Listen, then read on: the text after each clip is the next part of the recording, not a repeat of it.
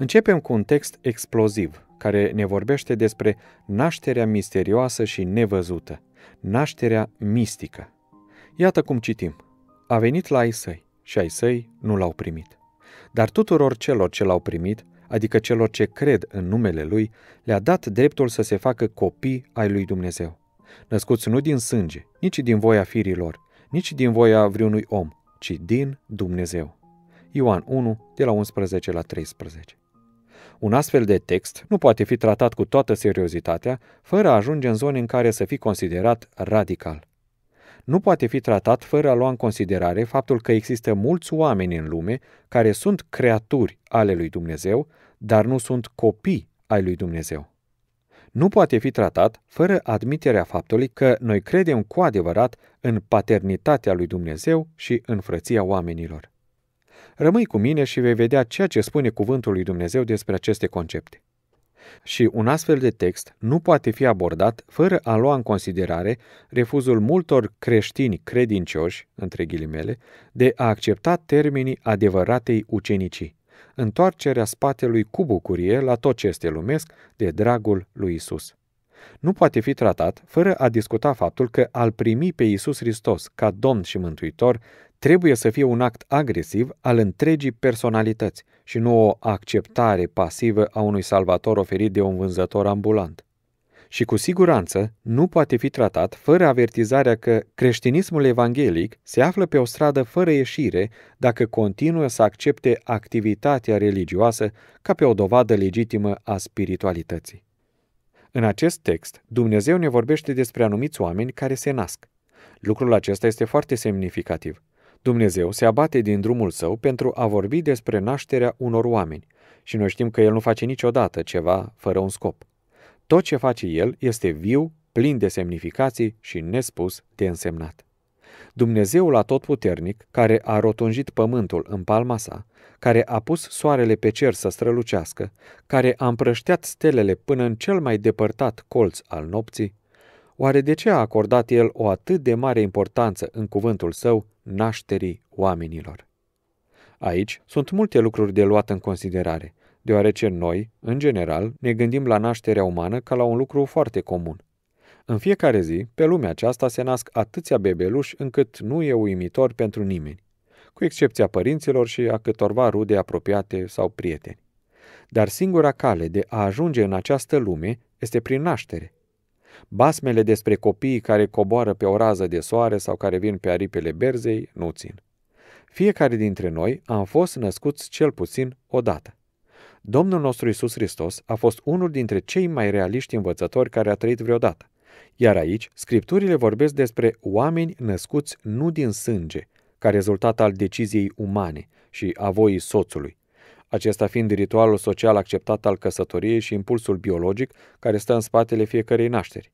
Acesta este nivelul vieții la care noi suntem născuți. Nu, nu este nimic remarcabil în nașterea cuiva.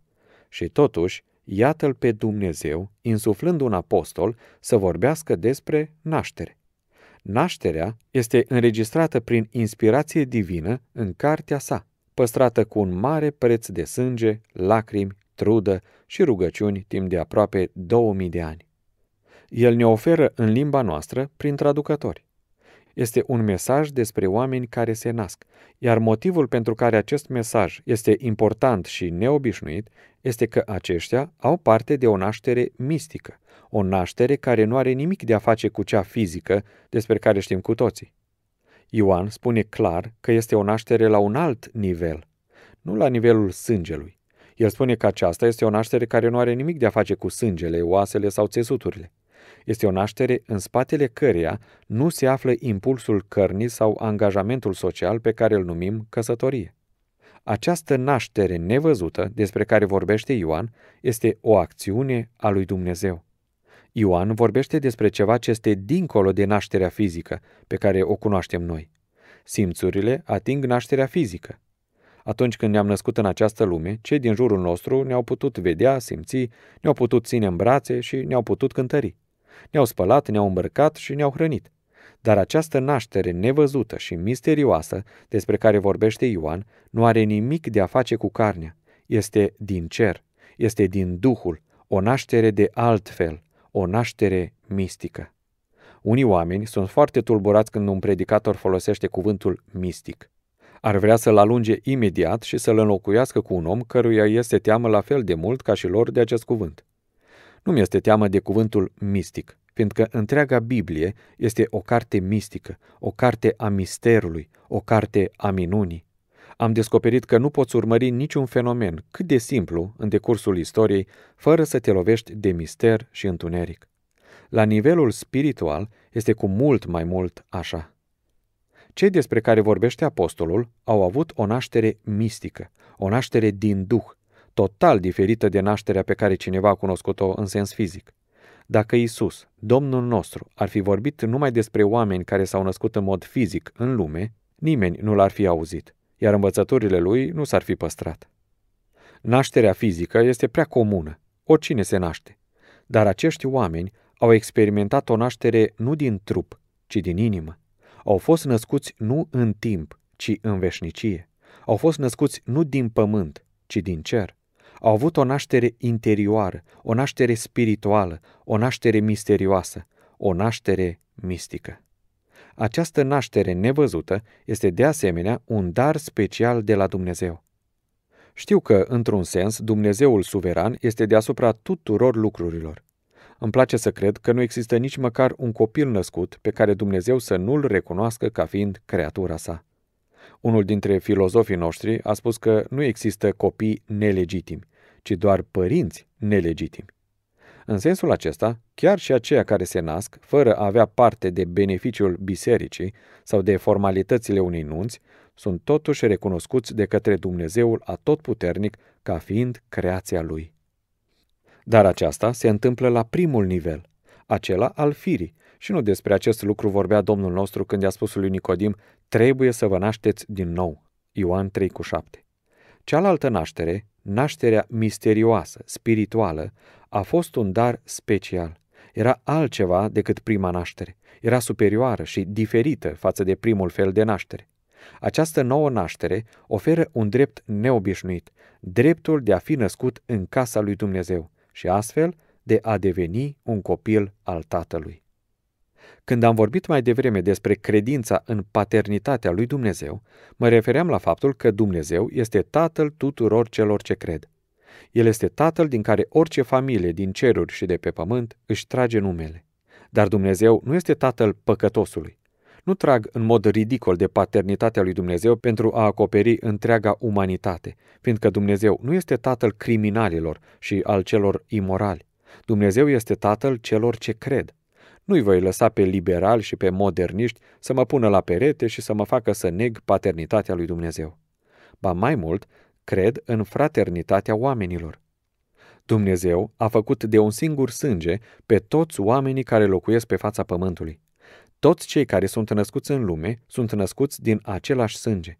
Pielea noastră poate fi diferită. Unii au părul blond, alții negru, unii ondulat, alții drept. Putem fi foarte diferiți unul de altul la înfățișare, dar există totuși o fraternitate umană vastă. Toți ne tragem din omul Adam, al cărui păcat fatal a adus moartea și toate roadele ei în lume. Dar în această fraternitate există o altă fraternitate. Este fraternitatea Sfinților lui Dumnezeu. Pentru că, dacă există o mare fraternitate umană, aceasta nu înseamnă că toți oamenii sunt mântuiți. Nu este așa. Până când oamenii nu sunt mântuiți, născuți din nou, nu intră în fraternitatea celor răscumpărați. Aici este punctul în care liberalii și moderniștii greșesc. Insistă asupra faptului că deoarece omenirea este o frăție, toți suntem copiii unui singur tată și, prin urmare, toți suntem mântuiți. Este o absurditate, este nebiblic și nu este adevărat.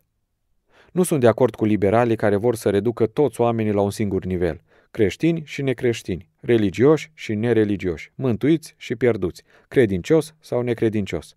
Eu cred că există o fraternitate ce vine din urma primei nașteri și o altă fraternitate care vine prin a doua naștere.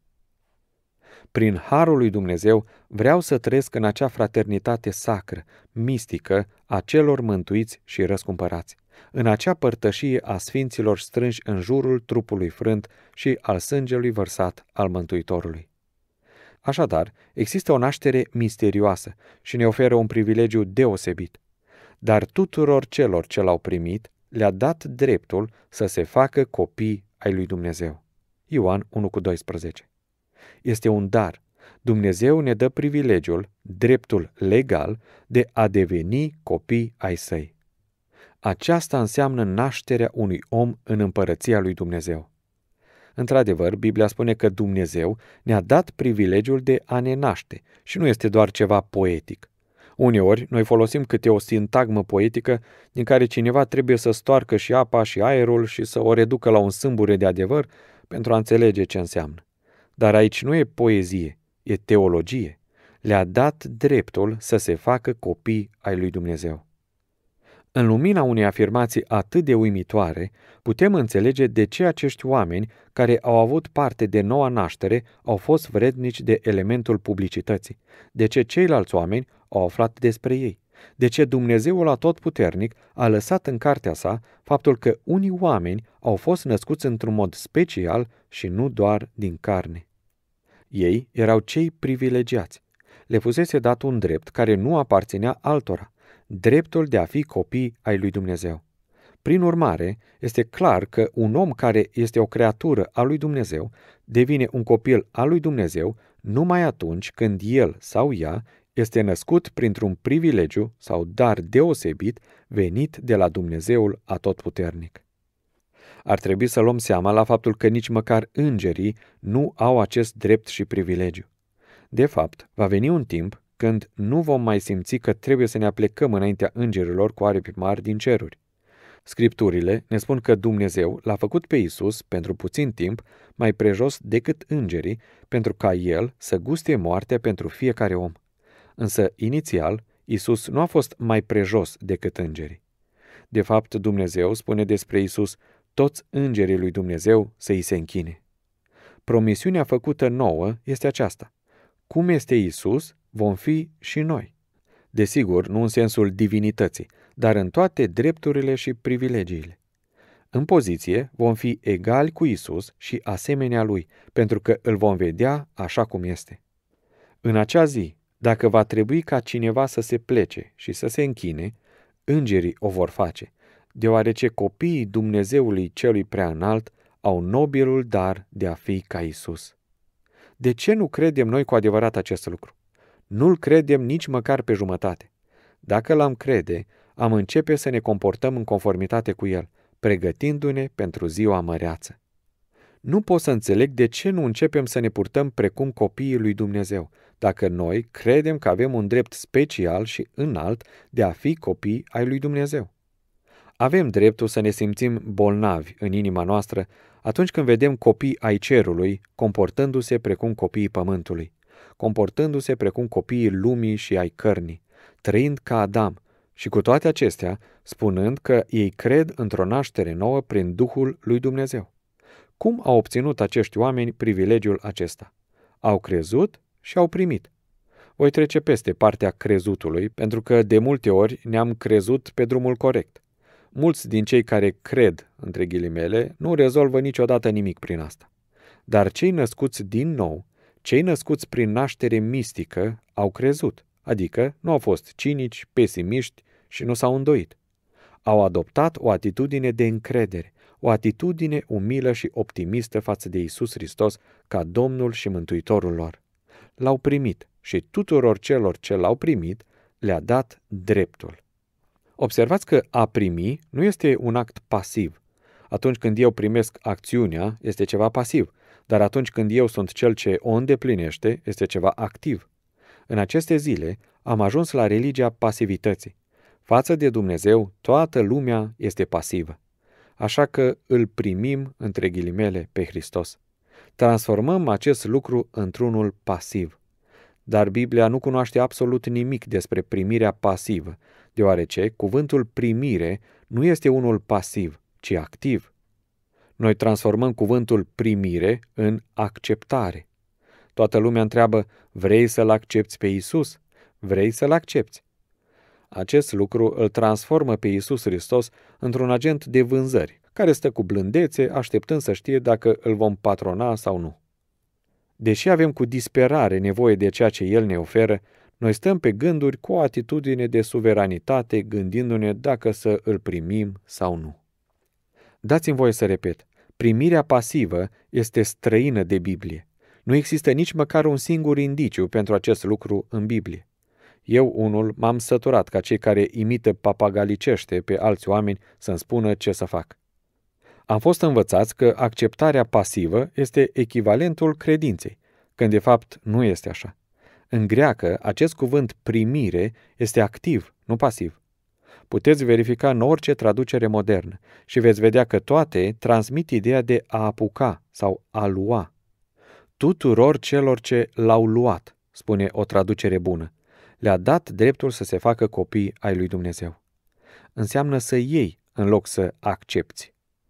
Fie că lucrezi într-un domeniu laic, fie că ești pastor, misionar sau student, ia bine seama la acest lucru. Al primi pe Hristos ca mântuitor este un act al întregii personalități. Este un act al minții, al voinței și al emoțiilor. Astfel, nu este doar un act al întregii personalități, ci un act agresiv al întregii personalități. Când aducem acest gând în textul de față, Duhul Sfânt spune copiilor lui Dumnezeu tuturor celor ce l-au apucat cu întreaga lor personalitate. Nu există nicio implicație a faptului că ei ar putea să stea și să accepte liniștiți. Fiecare parte a ființei lor a devenit o mână întinsă către Isus Hristos. L-au primit pe Isus ca mântuitor și domn cu întreaga lor ființă, cu toate emoțiile, sentimentele și cu întreg intelectul lor. De aceea, în limba greacă spune tuturor celor ce l-au primit în mod activ. Creștinismul evanghelic răsuflă din greu. Am intrat într-o perioadă în care este la modă să cânți despre lacrimi, despre rugăciuni și credință. Poți să vorbești despre o sintagmă religioasă aproape oriunde, chiar și în mijlocul unui program lumesc dedicat cărnii și diavolului. Vechiul Dumnezeu cu doi bani de argint în loc de ochi stă deasupra tuturor acestora, mințind în privința calității produselor, lăudând fără rușine actori care ar trebui să fie puși la muncă brută. În mijlocul acestora, cineva antrenat într-un studio, ca să pară religios, spune cu voce mieroasă, acum, imnul nostru pentru această săptămână. Așa că dau buzna și formația începe. Zdrangă, zdrangă. Și cântă ceva la care și diavolul roșește. Ei numesc asta religie și admit și eu că este religie. Dar nu este creștinism, iar Duhul Sfânt nu este în aceste lucruri nu este nimic din Noul Testament și nici din mântuire. Asta înseamnă pur și simplu să faci avere din religie. Cu toate acestea, eu încă cred că dacă ar apărea cineva care s-ar putea face auzit la mii de oameni în loc de câteva sute, cineva cu tot atâta ungere cât inteligență și tot atâta putere cât perspicacitate, încă am putea salva creștinismul evanghelic de pe strada înfundată pe care se află. Vă avertizez, nu lăsați nici măcar pentru o secundă ca mulțimile, zarva activităților religioase și valul gândirii religioase să vă păcălească, făcându-vă să credeți că este multă spiritualitate în aceste lucruri. Nu este. De aceea, sensul cuvântului primire este atât de important aici. Tuturor celor ce l-au primit, care l-au apucat activ și agresiv, înseamnă un exercițiu hotărât de voință înseamnă să nu refuzi nicio condiție pe care Domnul o pune. Acest lucru e destul de diferit de ceea ce auzim în mod obișnuit. Ei nu au venit la Domnul și nu au încercat să se târguiască în privința condițiilor, ci au venit la Domnul și au primit activ condițiile lui. Acesta este copilul lui Dumnezeu, credinciosul în Hristos care îndeplinește orice condiție pe care Domnul o stabilește, chiar dacă aceasta înseamnă să-ți părăsești rudele și prietenii. Poate că protestezi, spunând, devii radical. Poate că da, dar ai citit vreodată cuvintele lui Isus, dacă vine cineva la mine și nu urăște pe tatăl său, pe mama sa, pe nevasta sa, pe copiii săi, pe frații săi, pe surorile sale, ba chiar însăși viața sa, nu poate fi ucenicul meu. Luca 14 cu 26 Isus ne cere să punem dragostea noastră pentru El înaintea dragostei pentru soție, pentru soț și copii. Și dacă noi nu facem acest lucru, El nu ne va dori. Acesta este rezumatul învățăturii lui Isus legat de acest subiect. Poate că obiectezi, e crud, groaznic de crud. Dumnezeul cel viu ne cere dragoste și loialitate și noi spunem că această cerință este crudă? De fapt, iadul este atât de fierbinte că Dumnezeu încă mai face tot ce poate ca să ne trezească și să ne motiveze pentru a acționa. Lot ar fi putut fi îndreptățit dacă și-ar fi părăsit familia stricată și ar fi ieșit din Sodoma. Haideți să înțelegem acest lucru corect. Iisus Hristos nu ne oferă mântuirea ca pe o decorație, un buchet sau vreo altă adăugire la veșmântul nostru. El spune clar, aruncă-ți vechile zdrențe, dezbracă-te până la piele, lasă-mă să te îmbracă în hainele frumoase și curate ale neprihănirii mele, numai ale mele. Atunci, dacă înseamnă să pierzi bani, pierde-i. Dacă înseamnă să-ți pierzi slujba, pierde-o. Dacă înseamnă persecuție, accept-o. Dacă aduce cu sine vânturile puternice ale împotrivirii, apleacă-ți capul în vânt și acceptă. De dragul meu. Al primi pe Iisus Hristos ca Domn nu este un lucru pasiv și dulce. Nu este o religie deja digerată. Este carne tare. Sunt bucate atât de tari încât Dumnezeu ne cheamă în acest timp să lăsăm totul în mâinile Lui. Unii încă mai vor să se țină de plăcerile lor păcătoase. În bisericile noastre, în acest timp fatal, degenerat, noi suntem vinovați că am făcut ca acest lucru să fie cât de ușor se poate pentru oamenii șovăielnici. Nu mai crede în Isus, acceptă-L și apoi poți fi așa cum erai înainte. Poți face ce făceai înainte, atâta timp cât nu te îmbeți și nu umbli după femei. Orice altceva este în regulă. Amin. Acesta este creștinismul marginal care se promovează în prea multe cercuri. Rezultatul este că avem o religie care nu e cu nimic mai bună decât păgânismul. Cred că aș prefera să-l urmez pe Zoroastru și să îngenunchez de două ori pe zi la răsăritul și apusul soarelui, decât să fiu un creștin pe jumătate care insistă asupra faptului de a crede pentru a fi mântuit, iar apoi face ceea ce îi place încălcând domnia Mântuitorului. Poate că în zilele noastre este o idee la modă să faci oamenii să se simtă fericiți și să le spui că pot avea viața veșnică, fără a o pierde vreodată, doar dacă îl acceptă pe Isus, după care pot trăi cum le place. Poți să ții mari conferințe legate de acest subiect. Poți să construiești colegii biblice și să aduni mari grupuri de creștini ocupați. Dar este o greșeală. Biblia spune că tuturor celor ce l-au primit, care l-au apucat agresiv și cu întreaga lor personalitate, le-a dat dreptul să se facă copii ai lui Dumnezeu. Shakespeare a pus în gura lui Hamlet următoarele cuvinte. Danemarca, întreaga Danemarcă, este lăsată pradă unei mari haine de jale. Aș vrea să schimb această expresie și să spun, întreaga personalitate umană trebuie să se lase pradă unei apucări strânse și agresive a lui Isus și să spună, da, Doamne, ești al meu, chiar dacă mă costă pierderea prietenilor. Ești al meu, chiar dacă asta înseamnă pierderea slujbei, a poziției sau a rangului. Mă gândesc la răposatul Louis Henry Zeimer din Toledo, care timp de mulți ani, înainte de a muri, a fost pastorul Marii Biserici Toledo Gospel. Înainte de a se converti, a păstorit o biserică denominațională. Povestea deseori de momentul în care a citit pentru prima dată o copie a revistei Alliance Life și cum a fost pus față în față cu posibilitatea de a fi mântuit și de a ști acest lucru. Simplu și-a dat inima Domnului și a fost convertit. Apoi a început să predice oamenilor săi despre minunea nașterii din nou și trezirea a venit. Apoi a fost chemată de liderii denominației sale să povestească despre acest lucru. Așa că s-a ridicat și a citit din scrierile lui Luther și le-a arătat că ceea ce predica el era ceea ce Luther a propovăduit despre credință și justificare.